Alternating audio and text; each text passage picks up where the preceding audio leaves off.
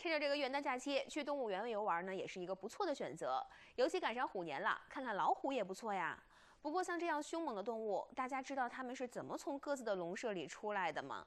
这个饲养员又在其中做了哪些工作呢？对于一座动物园来说，饲养员是保障动物生活的重要角色。身兼数职的他们，也是距离动物最近、相处最久的人。刘媛媛是南京红山森林动物园猛兽区的第一位女饲养员，目前也是猛兽片区的副主管。生活在这里的老虎、熊、豹子等每一只猛兽，她都非常熟悉。我的这个主要的工作呢，是负责整个猛兽片区的一个技术方面的一个管理工作。那我自己本人呢，还主要在这个中国猫科馆工作。我们现在呢是有三只豹，然后三只猞猁，三只豹猫，啊，都在我们馆生活。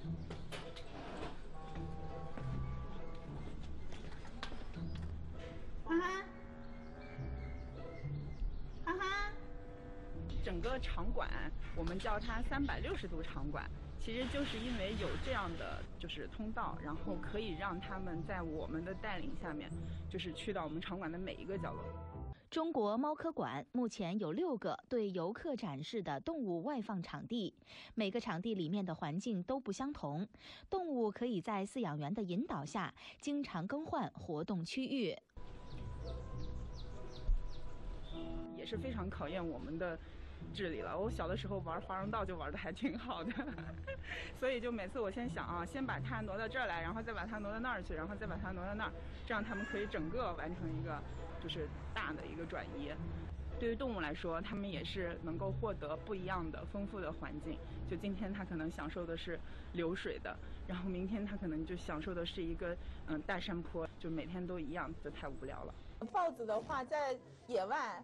呃，我们的调查记录里呢，可能很少有活过十岁的。但是这个呢，并不是说它不能活到十岁，而是它的面临的生存挑战太大了，然后它会有一个自然淘汰的过程。在动物园里，我们最长的记录呢，应该是在二十三岁左右。从小喜欢动物的刘媛媛，大学就读于南京的金陵科技学院动物科学专业。因为学校距离红山森林动物园很近，大学课余时间，她就来到这里做起了志愿者。正是这样的经历，让从没想过当动物饲养员的刘媛媛。开启了奇妙的人生体验。我也是属于比较巧，就是毕业正好他们就有那个事业单位的招聘考试，然后随便去考了一下，然后可能就是命中注定我要留在这里，然后就考中了。然后考中了，我就留下来了嘛，真正就是开始在动物园的工作了。正式入职后，刘媛媛先后在大熊猫馆、禽鸟班做过饲养员，之后又加入动物园的科技业务部，做了五年的文职工作。通过对动物谱系、科学管理等方面进一步的研究，刘媛媛对动物园里饲养员的工作有了新的认识。在英文里，我们的那个饲养员的名字叫做 keeper，我觉得叫保育员是更。合适的就是你，你是给他帮助，呃给他照顾，然后照料他生活的人，然后你要保持他的这个福利的一个水平，然后你要保持他的健康状况等等，就这些事情，就就叫保育员，我觉得是最好的。就是其实我我们在做那些看那些资料的时候，我们其实很少把这个 keeper 翻译成饲养员。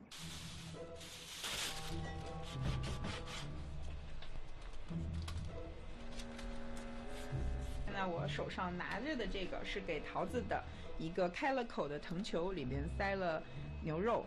嗯，这是他第一次用这个东西，我们也不知道他会有什么表现。等会儿我们看一看吧。上面的这个羊肉串儿、牛肉串儿，它是给我们一只怂猫叫闪电。通过对动物体型、日常运动量等因素把控，刘媛媛和同事会给他们准备不同的食物，并且偶尔也会模拟动物在野外不能顿顿饱餐的情况，把餐食减量。面对充满变化的食物、五花八门的投喂方式以及气味体验，对于动物来说，可以感受到拆盲盒一样的乐趣，保持对食物的积极态度，更舒适的生活在这里。我们的工作其实重复的内容非常的多，但是如何让自己变成一个变化着的饲养员，活着的饲养员，然后也让我们动物受到我们这种变化，其实是最困难的事情。要一直保有这样的热情和动这样的脑筋。这边，他喜欢把一串的。在中国猫科馆这么多动物中，其实让刘媛媛特别关照的是一只叫月月的豹子。这是一只只有三条腿，但依然非常勇敢的母豹子。月月它是二零一一年出生的一只个体，二零一五年的时候它受过一次伤。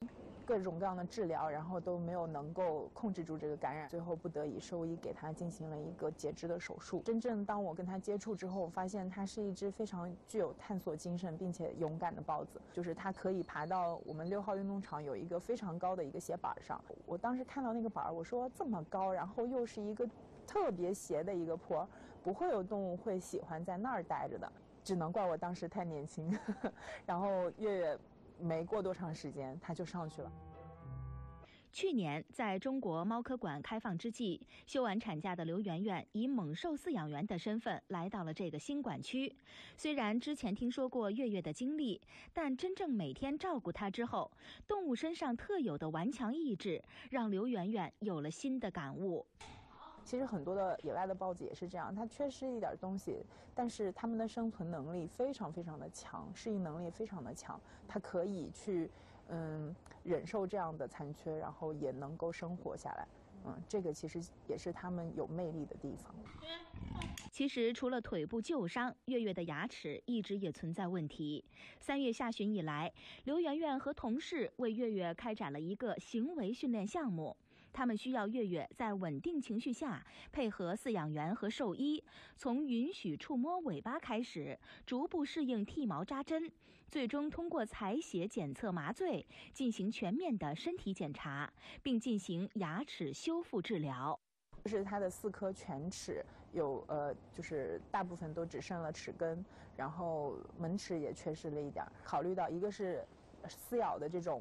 嗯，对他来说的一个幸福感，然后再一个是，如果说这个牙齿持续的往恶性的一个方向发展的话，他可能因为牙齿的缺损，然后导致他的牙龈也会发生一些不可逆的损伤，所以我们才会说要去做这个事情。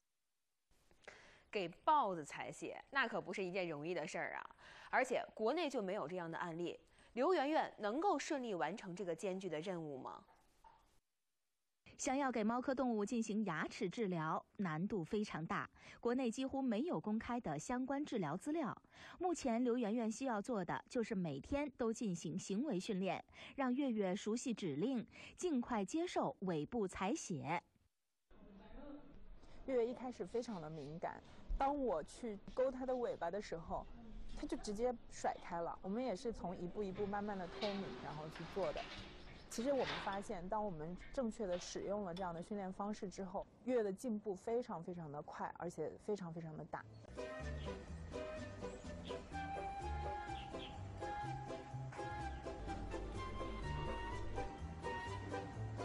今天那个外放怎么放呢？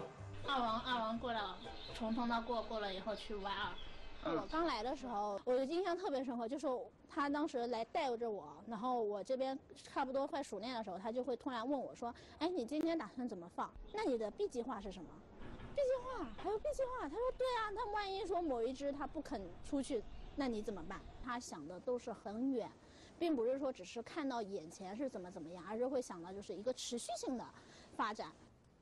一向面对突发状况都能有应对策略的刘媛媛，在这一天遇到了一个大难题。为了帮助月月更好的训练，他们更换了场地，而且制作了新的平台，让月月能够趴在平台上训练。不过，面对这些改变，月月表现得有些异常。月月，给我的感觉，至少他可能还是。有点想配合的，但是他在这个环境里可能还真的是不太舒服。拍摄期间一直很从容的刘媛媛也开始焦虑起来，她想要快速分析出究竟是什么原因让月月突然变得不配合。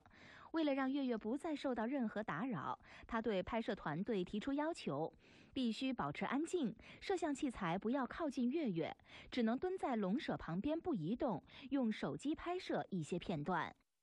我们今天可能预期给他介入新的东西太多了。我原来那一天是在地上，就是说没没有给他一个平台去做这样的训练。今天又引入了一个新的平台，然后动物可能接受程度还有限，所以说只能说慢慢来吧。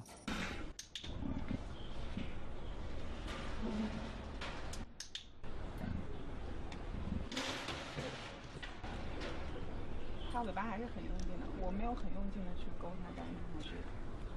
你是不是勾这个尾巴的时候，感觉跟那边勾完全力道不一样，是吧？那边在它尾巴对那边的尾巴是放松的，这边的尾巴是很用劲的。暂停，暂停，暂停，暂停。我觉得我们今天要想推进下一步的话，我们可能得把他叫到那边去。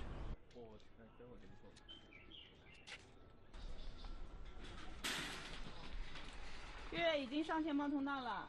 带领月月在新平台上做的第一次训练失败了。刘媛媛虽然情绪有一些波动，但她很快冷静了下来。结合之前月月的表现和配合度，她认为是新平台的设计没有能够让月月很好的适应。为了能够尽快采到血样，尽早检查，他们决定还是让月月回到之前训练的位置。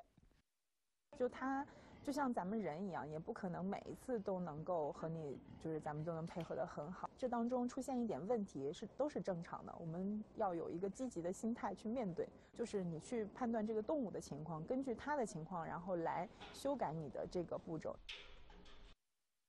月月逐渐平稳的状态，证实了刘媛媛的判断。看着月月不仅表现正常，还很愿意继续配合行为训练，刘媛媛松了口气。按照计划，这一天，刘媛媛和同事相互配合，带领月月顺利完成了剃毛、酒精棉球擦拭脱敏，并且进行了第一次尾部真实扎针。好，再来一次啊！一二三，月月头，嗯，已经有血了一二三，没肉了。嗯，好，拔针吧。嗯嗯，这一点点血应该也没啥用吧？到时候看能不能抽出来，能抽出来能做个图片。可以。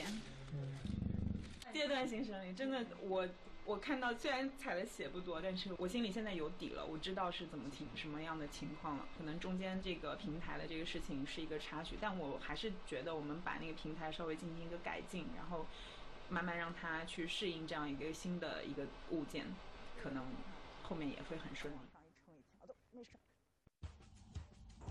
在刘媛媛和同事的配合下，兽医团队顺利完成了月月尾部的采血。接下来，他们还会继续帮助月月进行后续体检和牙齿治疗。在拍摄即将告一段落时，刘媛媛告诉我们，她特别开心月月采血的过程被拍摄记录下来。他们将会参考这个成功的案例，优化细节，去帮助更多需要帮助的动物。因为有了这次成功的案例，刘媛媛和她的伙伴们对以后的工作更加有信心了。他们也希望能够帮助更多需要帮助的动物们。这些看似离我们很远，但是又觉得离我们很近，因为这些饲养员用他们自己的方式在守护着动物，也在向我们展示着人与动物和谐共生的美好景象。